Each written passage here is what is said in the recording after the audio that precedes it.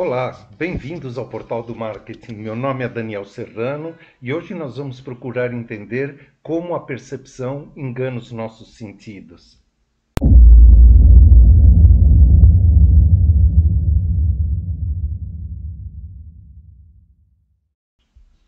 A percepção nada mais é do que o processo pelo qual uma pessoa organiza e interpreta as suas impressões sensoriais, ou seja, aquilo que ela vê, aquilo que ela ouve, aquilo que ela sente no paladar, no toque.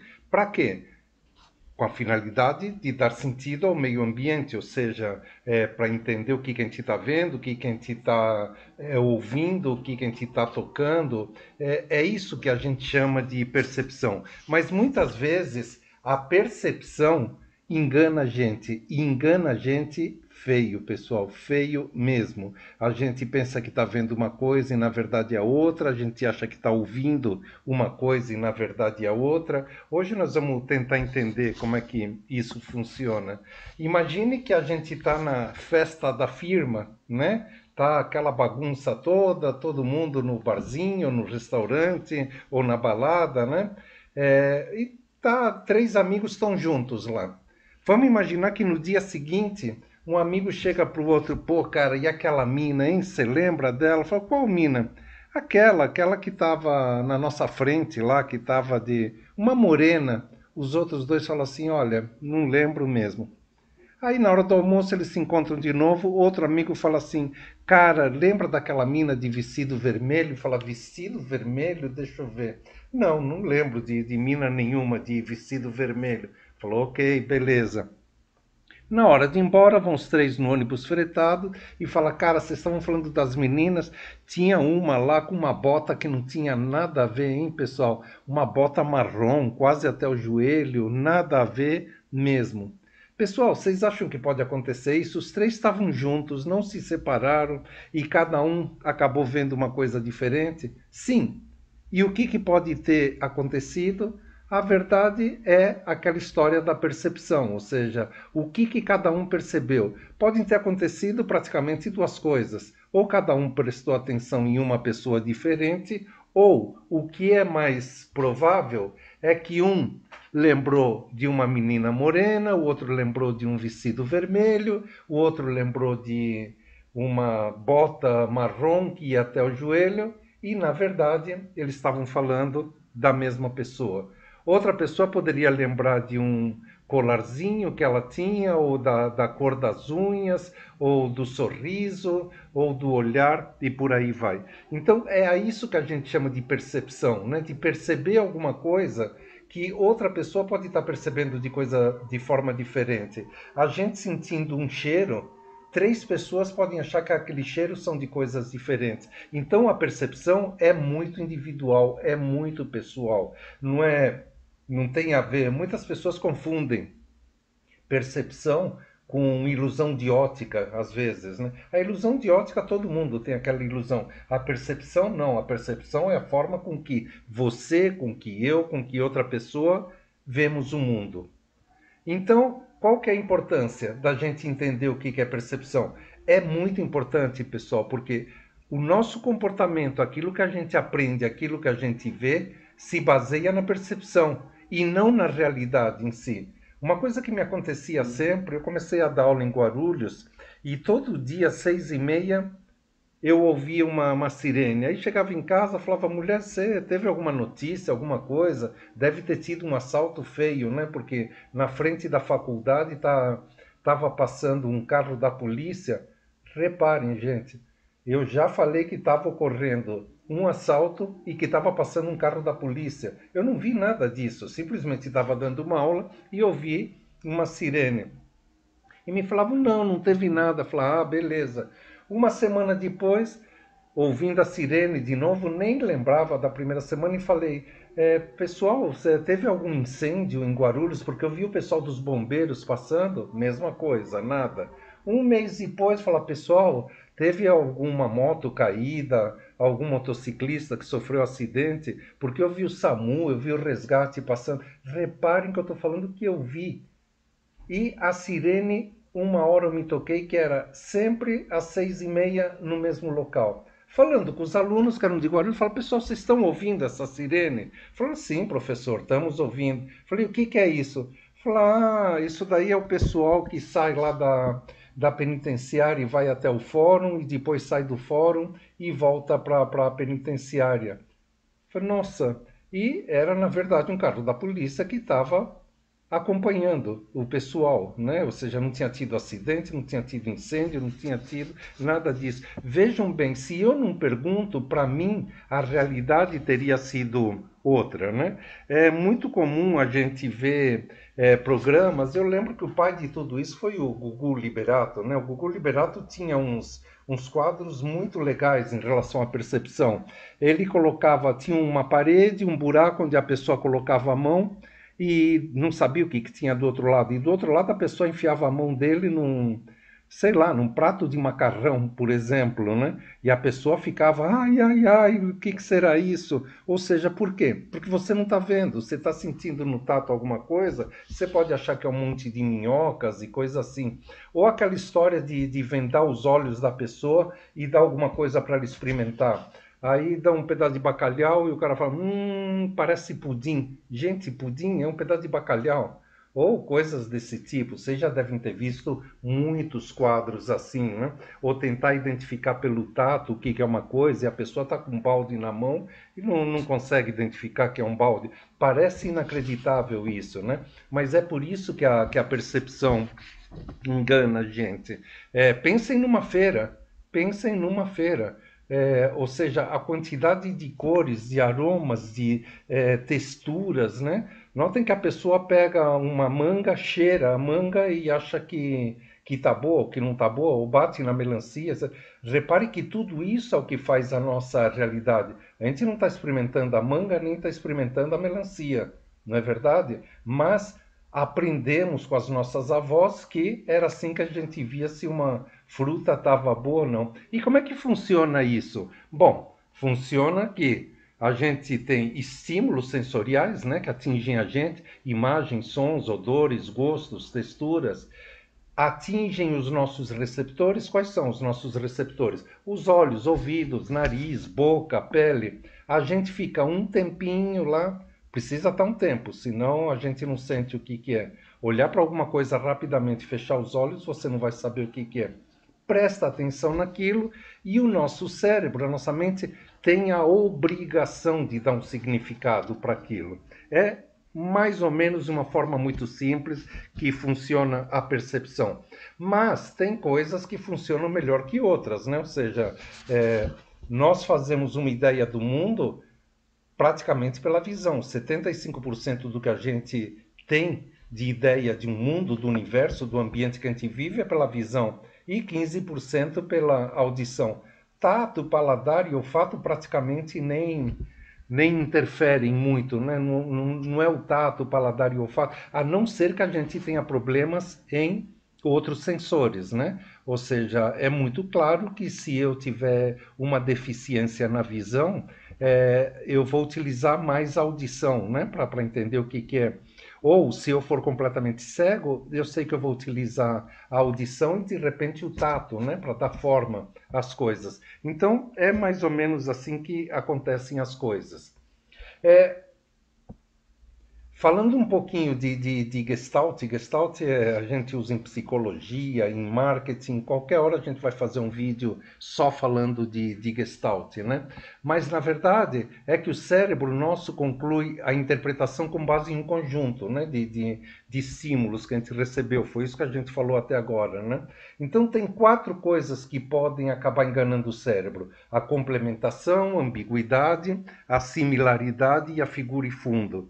É, vamos ver cada uma delas. Quando a gente fala em complementação, por exemplo, isso daqui é uma figura bem conhecida, né?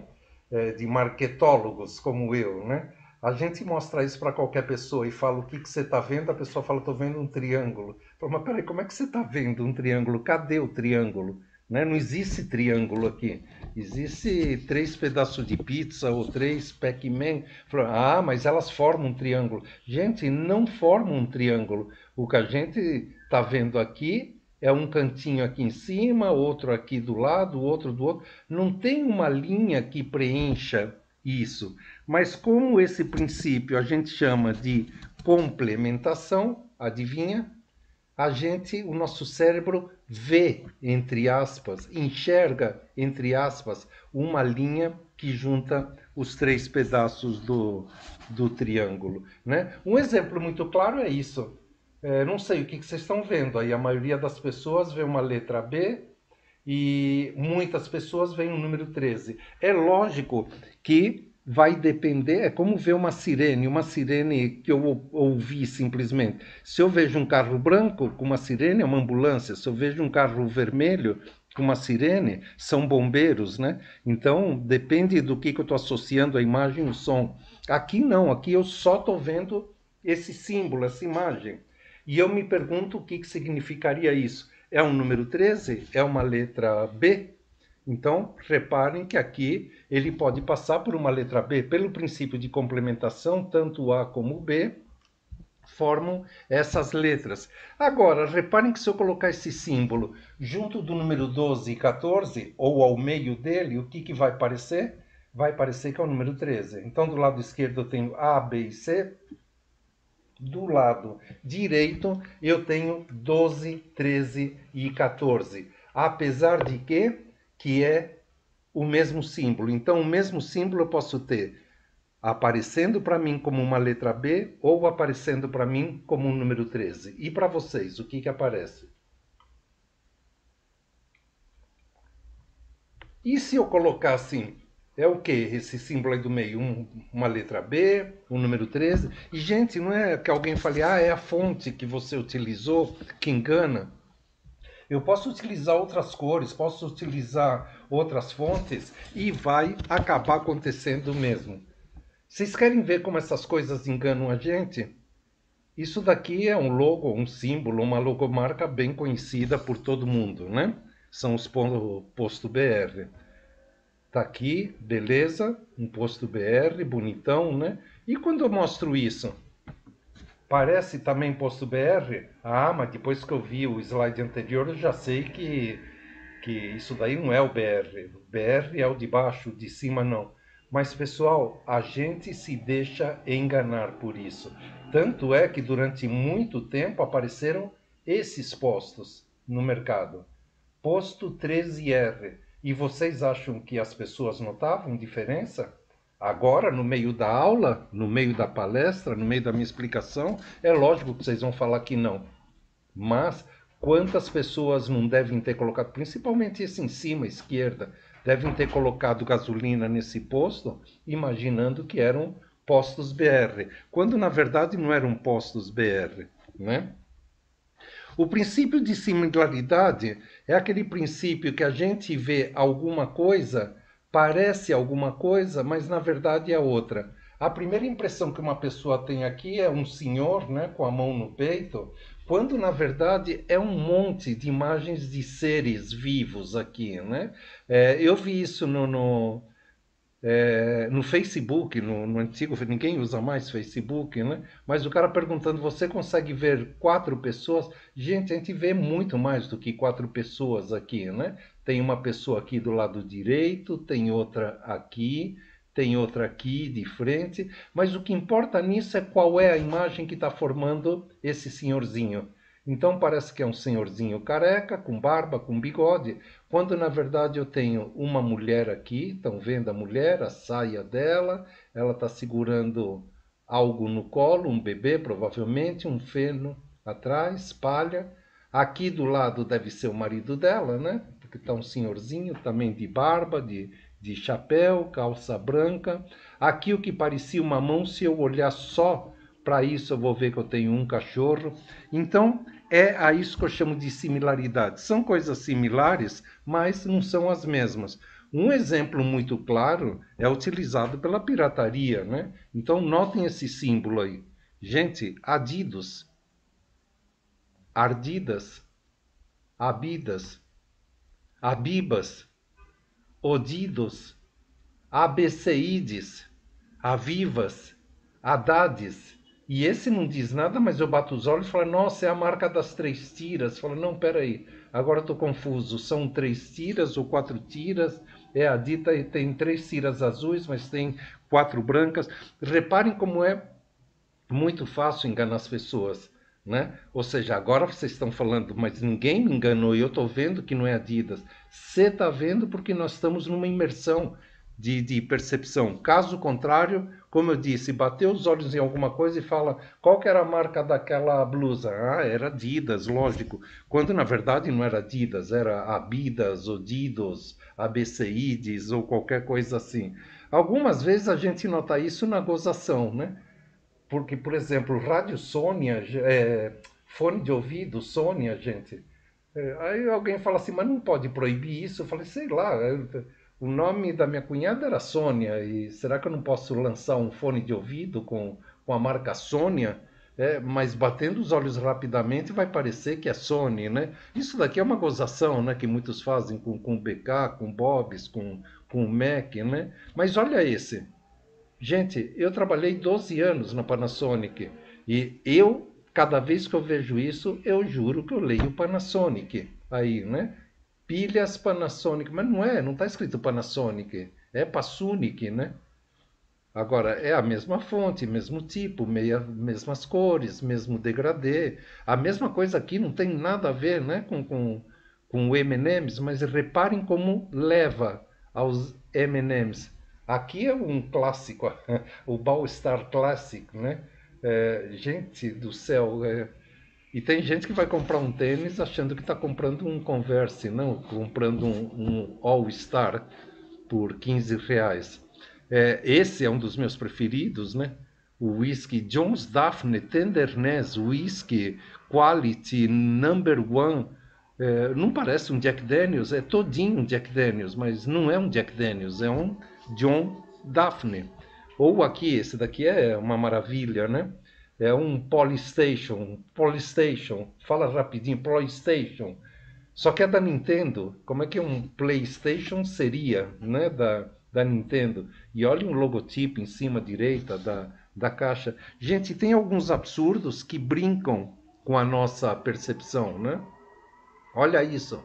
Nike, Just Do It, né? Nike, escrito N-A-I-K, né? Ou aqui, mais um da Sony, só que esse é só que não, né? S-Q-N-Y. Mas eu garantiria que estava escrito Sony aí. Se eu vejo isso numa loja de conveniência, no supermercado, em algum lugar, no supermercado não vai vender essa baixaria, né? Mas pendurado em algum lugar, eu pego e nem olho o que está escrito. A cor da pilha é a cor da Sony, o logotipo é a fonte da Sony, né? Dá para enganar muita gente. Aqui, ó, Roxana. Sabe, é o nome da mulher, Roxana, e ela lançou um, sei lá, um, um desodorante. Quando na verdade a, a original chama Rexona, né? Ou Nocla, né? Equipamentos Nocla são muito legais, né? Calça LGG é large ou, ou grande, grande, vai saber. Mas que é uma imitação dali, é, né? Ou like, né? Like é uma palavra tão utilizada, dá um like. Inclusive, deem um like aí nesse vídeo, pessoal. Mas não é. Claramente tá, tá imitando o Nike, né? Em algum momento aí tá, tá imitando o Nike, né? E tem um que é muito legalzinho aqui, por exemplo, o novo iPhone. iPhone, gente. E se ainda fosse com iOS, né? Mas é um iPhone que tem, cadê? Em algum lugar eu vi aqui. Não está aqui? Dual chip, quadriband, internet. Dual...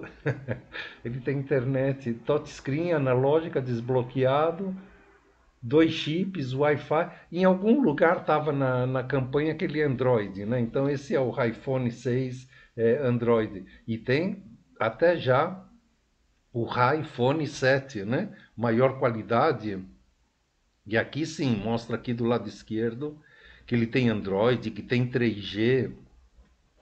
Gente do céu, não sei quantas pessoas vão acreditar que é ou não é um iPhone. É, tá muito na cara que não, né? Mas se vocês veem o formato, o acabamento e tudo, é, vai enganar muita gente dizendo que, que isso é um, é um iPhone. Outra coisa é o que a gente chama de ambiguidade, pessoal. Vocês já devem ter visto muitas coisas relacionadas à ambiguidade. O que, que é ambiguidade? É algo que eu vejo uma hora e vejo uma coisa, e vejo outra hora e vejo outra coisa. Ou uma pessoa vê uma coisa e outra vê outra coisa. Por exemplo, essa imagem é bem conhecida aí na internet. Né?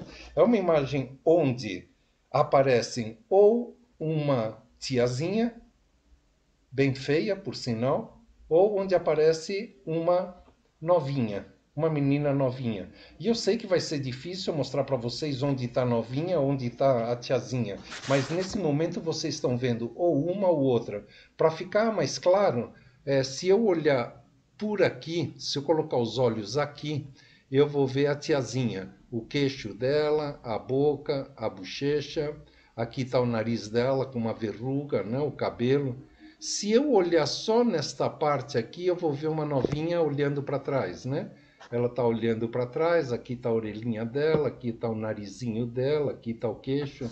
Então, isso daqui é um exemplo muito claro, né? De, de da, da enganação para uma pessoa ou para outra, que é o que a gente chama de ambiguidade. Tem vários exemplos de ambiguidade, por exemplo, essa imagem, né? Tem gente que vê um pato e tem gente que vê um coelho. Aí você se pergunta, pô, como é que um pato e um coelho podem enganar uma pessoa? Um pato é uma coisa, um coelho é outra. E é exatamente isso que acaba acontecendo. Ou aqui, isso daqui é a figura de um cavalo. Mas muitas pessoas acabam vendo o que aí? Um sapo, né? Então tudo vai depender do referencial, de como ver. O caso do coelho a maioria acho que vê o quê? Não sei o que vocês estão vendo aí. Se vocês começarem a olhar da esquerda para a direita, vocês vão ver um pato. Vocês vão ver que tem um bico aqui, tem a cara do pato, né? tem os olhos do pato, a cabeça, o pescoço. Se vocês olharem daqui para lá, vocês vão ver uma cabecinha com uma boquinha, uns olhinhos e umas orelhinhas, tudo inhas. Então vocês vão ver que tem um coelhinho aqui. É, só para mostrar, girando as imagens, vocês têm a, a imagem se é uma coisa ou de outra. Essa do cavalo, que todo mundo fala, mas onde que está o cavalo aí que você está mostrando? Está é, tá aqui a imagem original do lado esquerdo e a imagem girada, né? Eu girei ela no sentido horário e aqui nós vamos ver que na verdade é a cara de um cavalo e não de um sapo. Outro efeito muito legal é o que a gente chama de figura e fundo, né? Figura e fundo, vocês já devem ter visto coisas parecidas com isso, né? Figura e fundo é, a figura é uma coisa e o fundo é outra coisa. Como assim?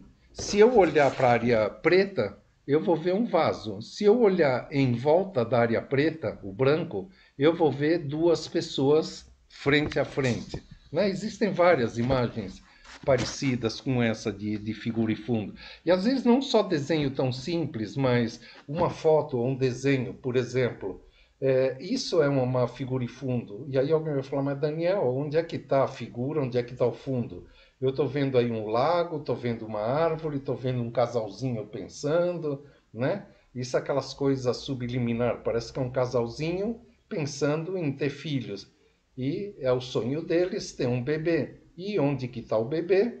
O bebê é formado na maioria da figura. Se eu olhar, ó, vou começar pela direita aqui. O pezinho do bebê, o joelho, a perna, o bumbum do bebê está aqui, à direita, depois as costas, e aqui eu vejo a cabeça dele, com os olhinhos, o nariz, a boca e as duas mãos. Então, isso é outro exemplo claro de figura e fundo. E tem alguns clássicos, né? Por exemplo, o logo do Carrefour, ou a marca, ou a logomarca do Carrefour. É, ultimamente o pessoal percebeu o que, que é isso, mas faz décadas que existe esse logo, né? Está escrito Carrefour e do lado tem um símbolo. E o que, que é esse símbolo? É exatamente a letra C de Carrefour. Fala, mas eu não estou vendo letra C. Estou vendo um símbolo aí que parece da antiga França, alguma coisa assim. Falei, é, exatamente, mas olha para o símbolo e olha para a parte branca no meio. Você vai ver que existe uma letra C. Para simplificar nossa vida, ó, coloquei cada área em uma cor, e aí dá para notar que esse amarelo aí é a letra C. Outra coisa que muitas pessoas notam em marcas é, por exemplo, existem milhões delas, né? Mas um exemplo clássico aqui do FedEx. FedEx é uma empresa de logística, né? transporte de documentos, de valores e materiais, então não poderia deixar de ter uma setinha aí, né? Como na Amazon tem lá de, de A a Z, né? A Amazon e tem uma setinha juntando o A e o Z. Mas como nós estamos falando de, de figura e fundo, aqui nós estamos vendo uma setinha onde? Exatamente entre a letra E e a letra X. Se eu olhar para o espaço branco entre elas, eu vou ver uma flecha. Alguns logotipos de fora, né? uma tomada numa extensão, e se olhar para a parte branca é uma letra E. O antigo logo da Fórmula 1, esse é fantástico, né? Porque não tem um em lugar nenhum. Tem um F, algo vermelho aqui do lado, escrito Fórmula 1 embaixo, e no meio, entre o preto e o vermelho, o que, que eu estou vendo? Um número 1 em branco, né? Então estou vendo F1, Fórmula 1. É, várias coisas assim é, uma colher dentro de uma pena de é, caneta tinteiro, e isso é inacreditável também. Quem olha pela primeira vez, quem olha para a área branca, está vendo o quê? Um mapa da África, né? Mas olhem a parte laranja. Em cima direito, à direita, uma mãe, e embaixo à esquerda, uma criança. O laranja forma uma mãe olhando para uma criança, ou uma pessoa que adotou uma criança, ou alguém que está ajudando uma criança, que esse é o logo de uma ONG chamada Hope for African Children Initiative, ou seja, iniciativa para esperança, para dar esperança para crianças africanas. Pô, muito legal, né? Muito legal mesmo, né? E outra coisa é o que a gente chama de atenção seletiva, né? De ver uma imagem, opa, desculpa, né? É ver aquilo que interessa para nós. Então, opa, vou tirar de novo. E sabe o que, que as pessoas veem aí, por incrível que pareça? Apenas uma mulher de biquíni. Quando, na verdade, tem muito mais coisas aí. Mas a gente presta atenção só na mulher. Aí, quando deixa mais um tempo, fala: ah, é verdade, tem uma escada lá atrás. E que mais? Tem uma água lá atrás. Ah, beleza. Mas o principal as pessoas não estão vendo. Por exemplo, do lado da mulher, aqui do lado direito, tem um gorila. Eu só vou ver esse gorila se eu prestar muita atenção. Se eu selecionar a minha atenção para procurar um gorila, aí sim eu vou dar uma olhada nesse gorila. Outra coisa muito legal, pessoal, é o jogo de cores, né? É, como a gente está falando que a gente tem aquela história de, de ver, né? A visão é o que acaba interferindo muito na gente. É desde pequeno, desde a tenra idade, como dizia minha mãe, né? A gente está sendo martelado na escola aprender a ler. R com O é Ró, O com S é Os, S com A é Zá. Então, na hora que eu bato os olhos nisso, o que, que eu estou vendo? Uma palavra escrito rosa. E aqui, A-M-A, amarelo. Então, estou lendo aí amarelo. Muito legal, né? Mas sabe qual é o problema? é se eu colocar rapidamente e pedir para vocês lerem, vocês vão ler muito rapidamente isso. Rosa, amarelo, verde, azul, verde, azul, verde, amarelo, rosa, não é verdade? Mas e se eu pedir para vocês é, me falarem as cores? O negócio acaba ficando mais complicado, né? Mas vamos ver aqui, falar é rosa a cor, aqui é amarelo, é verde, é azul, é vermelho, rosa, ama... opa, já deu ruim aqui, né? Porque aqui, é, até aqui era azul, aqui é vermelho, só que aqui está escrito rosa, mas a cor é amarela. Então notem o que, que prevalece. A gente, depois de um tempo, aqui nota que a cor não é rosa. Eu estou lendo rosa e que a cor aqui não é amarelo. A cor é azul. E isso acaba acontecendo com vários. Se eu pedir agora para falarem rapidamente as cores, ah, esquece esquece, eu não consigo falar rapidamente. Eu tenho aquela tendência de ler rapidamente e não de ver a cor rapidamente. Mesmo com quatro, fala, me fala as cores rapidamente. É, amarelo, verde, ah, embaixo tem verde, não, é azul, embaixo é rosa. É isso que acaba acontecendo. Essa importância das cores é tão grande que se a gente acaba mudando a cor de algo que a gente conhece, imagina o Mac em azul, ou a Volkswagen em violeta, ou a Panasonic em marrom, a Samsung em verde, a Shell em azul, a HSBC em azul, Microsoft em marrom, nota que a, a nossa cabeça dá um nó, né? Ou seja, não é aquilo que a gente está acostumado. A cor acaba sendo muito importante. E a cor é uma das coisas que a percepção nos engana. Bom, pessoal, é isso aí. Agradeço muito. Espero que vocês tenham gostado. É, se quiserem, além do canal aqui, do canal do YouTube, a gente tem um site, né, o portal do marketing.com.br. Tem milhares de artigos de marketing, administração, RH. Tem pelo menos 4 ou 5 mil artigos que vocês podem achar aquilo que quiserem. Ok? Então, muito obrigado, pessoal, e até o próximo vídeo.